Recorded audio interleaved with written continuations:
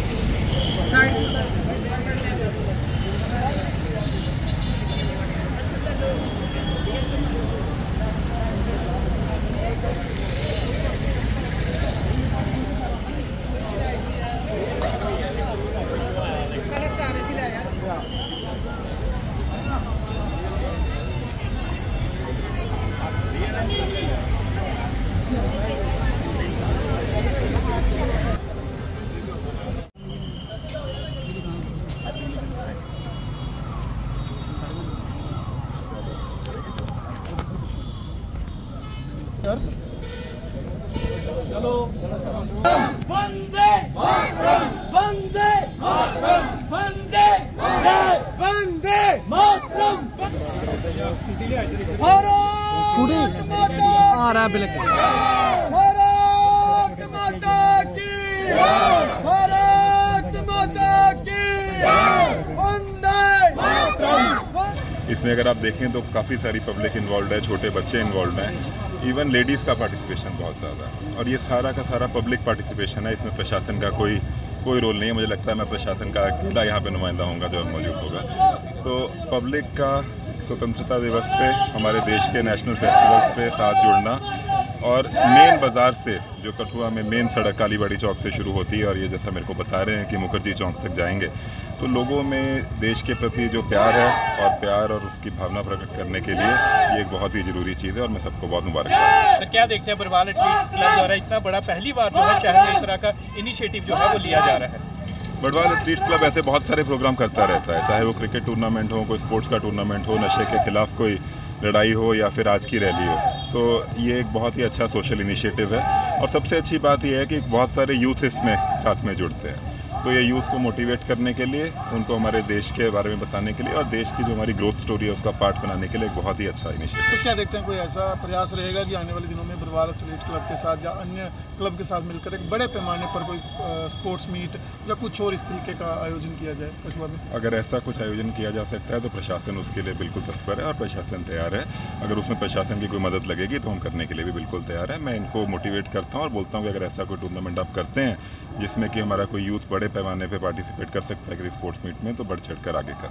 Sir एक आखिरी सवाल रहेगा इस तरह के जो यू यूथ है जो एक रोल मॉडल है आइकन है इस तरह के यूथ को जो है एडमिनिस्ट्रेशन की तरफ़ से उस तरह की सराहना नहीं मिलती है जिस तरह की सराहना मिलनी चाहिए। जिस तरह आज पंद्रह अगस्त थी तो आज भी जैसे इन्हें सम्मानित किया जा सकता था इन्हें एक सर्टिफिकेट से नवाजा जा सकता था। अगर आप देखें आज का जो प्राइज डिस्ट्रीब्यूशन सेरेमनी है तकरीबन सवा घंटा हमारा चला आज के प्राइज रिसेप्शन सेरेमनी में जितने भी ऐसे बच्चे हैं जिन्होंने रिपब्लिक डे में हमारे को दिल्ली में, कठुआ को उन्होंने पार्टिसिपेट किया हो, जितने भी ऐसे स्कूल के हमारे टॉपर्स हैं टेंथ के ट्वेल्थ के, जो पहली तीन पोजीशंस पे आए हैं जितने भी ऐसे बच्चे हैं जिन्होंने कोई स्पोर्ट्स में मेडल जीते हैं, उन सबको तकरीबन 50 से ऊपर सर्टिफिकेट और 40 से ऊपर ट्रॉफी हमने बांटी है। तो एडमिनिस्ट्रेशन का हर बार ऐसा ही कदम है कि बच्चों को आगे लेकर आया जा सके। एक और चीज़ आपने देखा होगा कि अमरनाथ यात्रा में हमने बसोली पेंटिंग लखनपुर में और शहर में जगह जगह बनाई थी। जिन बच्चों ने कॉलेज के बच्चों ने वो बनाई थी, उनको भी आज पंद्रह अगस्त के फ़ंक्शन में फेलिसिटेट किया गया तो ऐसा नहीं है कि बच्चों को फेलिसिटेट नहीं किया जा रहा है। जहाँ पे भी ऐसा मौका आएगा, जो भी बच्चा कठुआ का या देश का नाम रोशन करता है उसको प्रशासन ज़रूर फेलिसिटेट करेगा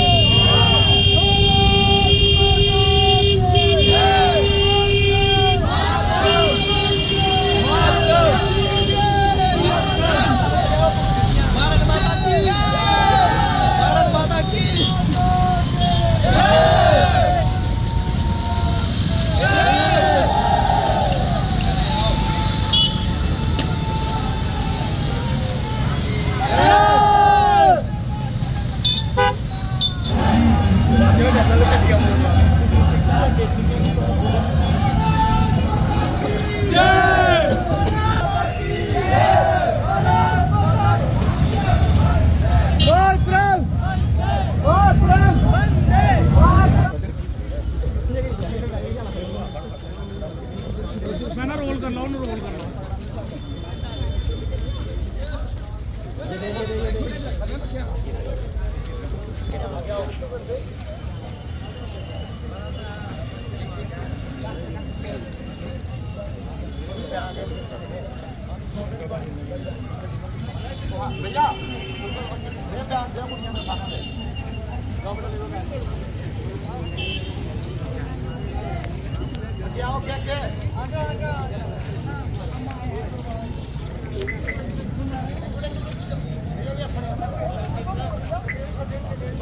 हिंद दोस्तों सतरवें स्वतंत्रता दिवस की समस्त कठुआ वासियों को, समस्त भारतवासियों को, बरवाल एथलीट्स क्लब की तरफ़ से, मेरे गाँव की तरफ़ से, पूरे शहर की तरफ़ से दिल की गहराइयों से बहुत बहुत शुभकामनाएँ।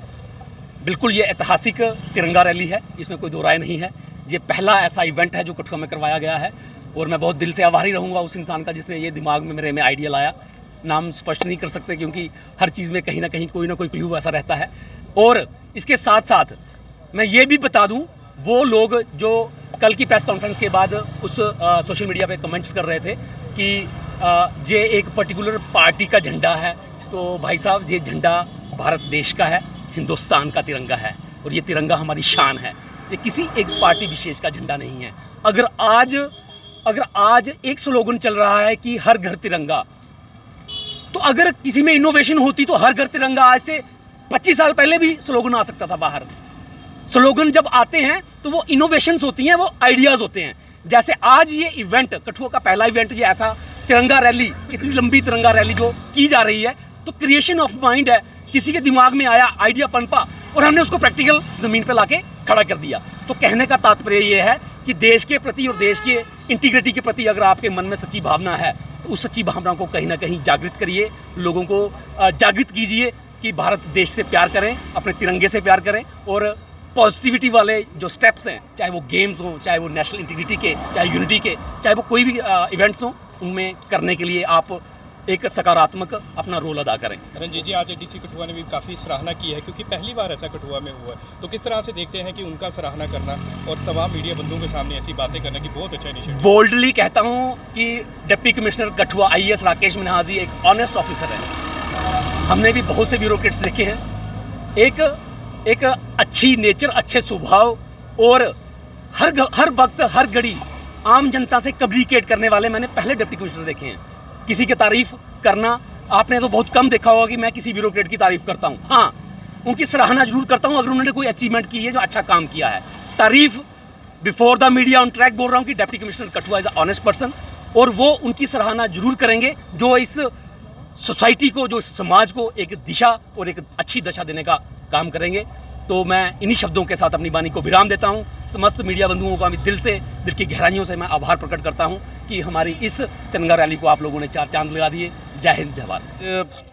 पहली बार जो कठुआ में तिरंगा रैली जो कि 100 फुट का तिरंगा जो कठुआ कालीबेड़ी से लहराता हुआ कठुआ की तरफ़ आ रहा था और मैं मुबारकबाद देता हूँ सभी कठुआ वासियों को जो 15 अगस्त के उपलक्ष्य पर जो इतना बड़ा कार्यक्रम किया गया और मेरे बड़े भाई रंजीत सिंह पठानिया और उनकी टीम की तरफ़ से ये जो तिरंगा रैली का आज अनाव, अनावरण किया गया, कालीवड़ी से कठुआ तक। और मैं यूथ को जो मैसेज देना चाहता हूँ कि सभी एकत्रित हो जाइए, हर साल पंद्रह अगस्त और छब्बीस जनवरी को ये ऐसा ही तिरंगा लहराया जाए घर घर तिरंगा होना चाहिए, क्योंकि आने वाले दिनों में भारत एक महान देश बन चुका है और हम जो चाहते हैं कि भारत पूरे वर्ल्ड में भारत का डंका बजना चाहिए और घर घर तिरंगा होना चाहिए और यूथ जो की है, नशे की तरफ़ ना जाते हुए देशभक्ति की तरफ़ होना चाहिए और मैं चाहता हूँ यूथ जो है कि देशभक्ति की तरफ़ जाना चाहिए और नशे की तरफ़ बिल्कुल ना जाए और आने वाले दिनों में ऐसे ही काम यूथ करता रहे। यूथ की तरफ़, जो यूथ का जो ध्यान है, वो स्पोर्ट्स की तरफ़ होना चाहिए। जो और भी सारे, बहुत सारे स्टडी की तरफ़ जाना चाहिए खेल कूदों की तरफ़ जाना चाहिए। यूथ जो है, नशे की तरफ़ ना जाए, इसलिए तिरंगे का जो आज यात्रा का अनावरण किया गया है।